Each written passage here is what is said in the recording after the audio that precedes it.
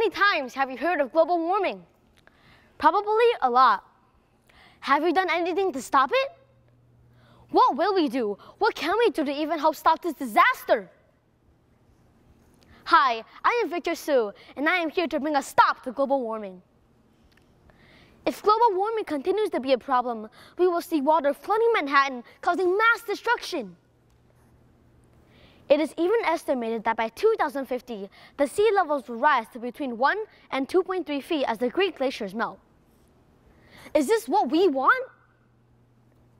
Former President of France, Francois Hollande once said, we have a single mission, to protect and hand the planet to the next generation, and that is what I am here to do. About a year ago, I was very excited to go to Iceland for spring break. The glaciers in and Glacier Lagoon was so amazing. Also, the black sand of Diamond Beach was lined with glittering and shining chunks of ice. It was so beautiful, beyond imagination. It was like a winter wonderland. It was so beautiful that my mom and dad started pretending to be Rose and Jack from Titanic. Once more, you open On the other side, my aunt and uncle were even proposing. How did these chunks of ice even get here, you ask? Two words, global warming. I go to Tzu Chi every Sunday. Tzu Chi is a nonprofit organization, and one of its goals is to save the planet. One day, the teachers in Tzu Chi showed us a video on global warming and how we can help stop it. So here's what I learned. Humans drive cars, a lot. Unfortunately, these cars and other gas-powered machines emit carbon. This carbon gets trapped in the atmosphere, making the Earth warmer than usual. This is what we call the greenhouse gas effect, and this is one factor to what causes the ice in many places to collapse and wash up somewhere like a beach. Greenhouse gas levels right now are higher than any time, any place in the last 800,000 years. Due to greenhouse gases, a lot of the ice has also melted into pieces not much taller than I am. This brings me to the first thing we can do to help stop this. How many of you have driven to the store that you could have simply walked to? I know I have. However, that was before I realized that I could just walk or bike there. You can get exercise, save the earth, and get to the place you want to. It's a win-win-win. Another way to help restore our planet has to do with livestock.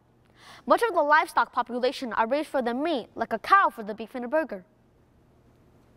Raising livestock causes global warming because of the methane that is released from, and there's no pretty way to put it, their burps and farts.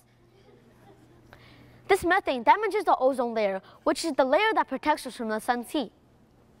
Since this particular layer is damaged, the sun's heat reaches the earth, causing rising temperatures. 56 billion animals are raised and killed each year. That 56 billion animals raised and killed all release methane. And that going on for a whole year is equivalent to driving around the earth 1,325 times.